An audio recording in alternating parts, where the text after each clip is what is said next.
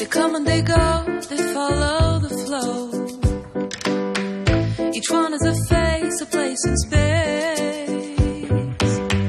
The way they grow, the way they scroll. Changing age at every stage.